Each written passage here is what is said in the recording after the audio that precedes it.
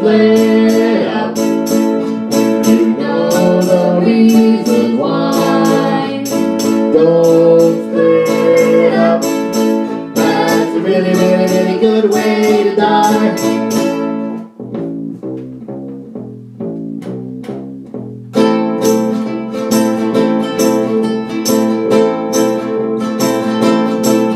Oh, the gang all visit an abandoned mine, and in it they stumble on an ancient shrine. There's blood and incense and a ragged doll, which Sue picks up and throws against the wall. It scuttles off, producing eldritch laughs into a network of diverging paths. Now they want to find it, and I don't know why, but each one picks a different path to try.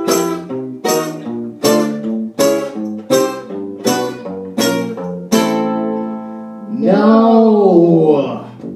Don't split up. You know the reason why. Don't split up. That's a really, really, really good way to die.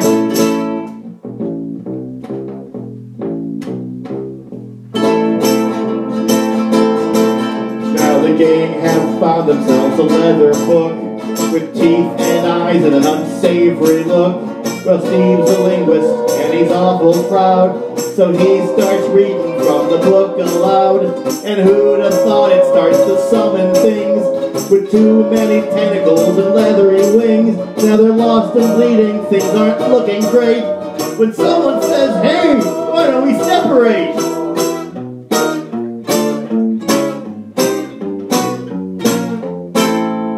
No. Don't split up. You know the reason why. Don't split up. That's a really, really, really good way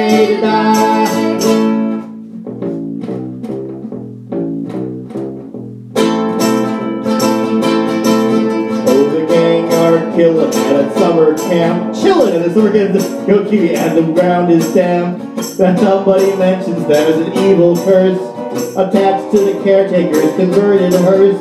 Well, they kick the car and people start to die. And no one can figure out the reason why. And Dad stands up and waves his flask of booze and says, Let's split up and search for clues.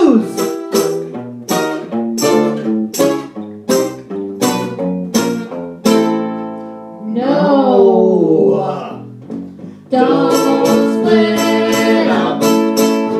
You know the reason why. Don't split